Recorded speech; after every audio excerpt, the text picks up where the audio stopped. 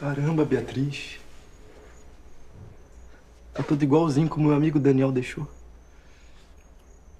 E você é um privilegiado.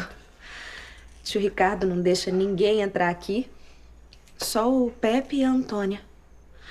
Logo que a gente chegou de São Paulo, eu pensei em dormir aqui, né? Pra, pra me sentir um pouquinho mais perto dele. Você gostava muito do Daniel, né, Beatriz? Desde garota. Quando eu penso que a gente estava te esperando lá em São Paulo para passar o fim de semana. Ah, ainda parece incrível como. como aconteceu, né? Como. como tudo. Como tudo aconteceu. Daniel tava tão amoroso comigo. Você. Você por acaso ficou sabendo da história do anel? Não. Que anel? Esse. O anel de noivado da tia Francisca, a mãe do Daniel. Foi o. Foi o Daniel que deu esse anel pra você, Beatriz?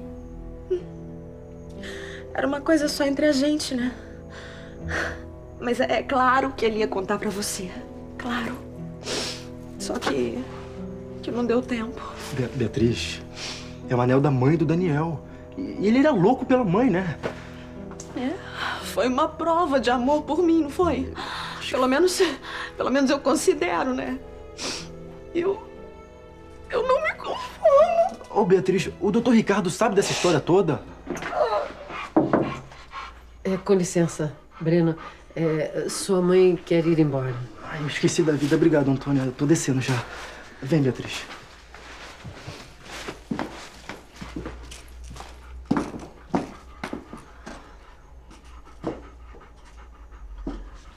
Que ele tá aqui perto da gente agora? Hein, Pepe? Você tá vendo?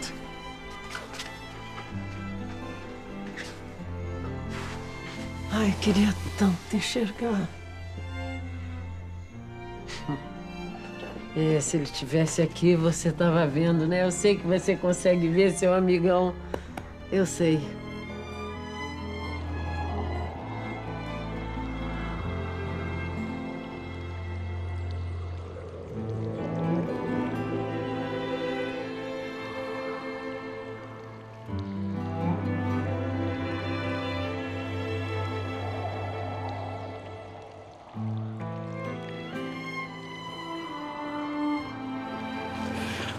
Essa sua calma, anjo, que me irrita.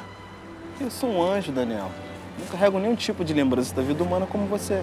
Pô, mas você viu uma emergência, anjo. A Viviane tá indo embora do Rio. Se ela for embora do Rio, não vai ser mais a mãe do meu filho, Sete.